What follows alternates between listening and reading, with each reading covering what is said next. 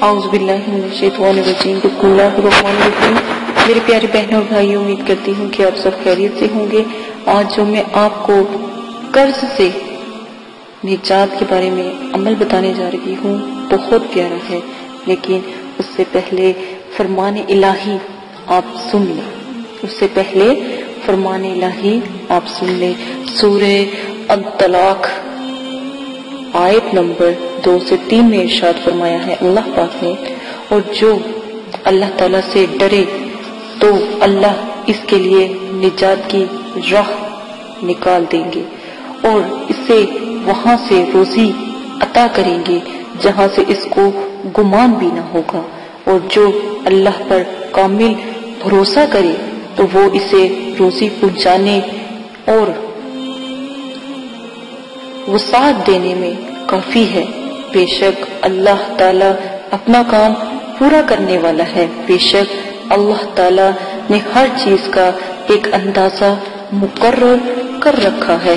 اسی کے ساتھ آج جو میں آپ کے ساتھ نایاب وظیفہ آج آپ کو بتاؤں گی، میری یہ ریکویسٹ ہے کہ آپ لوگ ضرور کریں، قرض کے لیے کریں، کاروبار کے لیے کریں، مشکل کے لیے کریں، بہت سے طریقے اس لیے اختیار کر سکتے ہیں، بہت نایاب ہے اس سے پہلے ایک چھوٹا سا میں نے ریکویسٹ آپ سے کرنی تھی یا سوچیں، اپیل ہے کہ میں نے ایک کورس رکھا ہے بہنوں کے لیے، صرف بہنوں کے لیے، کیونکہ میں ظالم نہیں، میں اپنے رب سے کیسے نہ ڈروں؟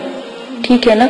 تو اگر آپ کی کوئی بہن ہے یا آپ کی کوئی والدہ ہے یا آپ کی بیوی ہے، تو وہ مجھ سے یہ علم سیکھ سکتی ہیں عملیات کا۔ عملیات کا علم سیکھ سکتی ہیں۔ ہم ان کو عملیات کا علم آن لائن سکھانے کا مطلب کہ کورس سٹارٹ کر چکے ہیں۔ اگر آپ آنا چاہتے ہیں تو ڈسکرپشن میں ای میل ہے۔ آپ لوگ ہم سے رابطہ کر سکتے ہو۔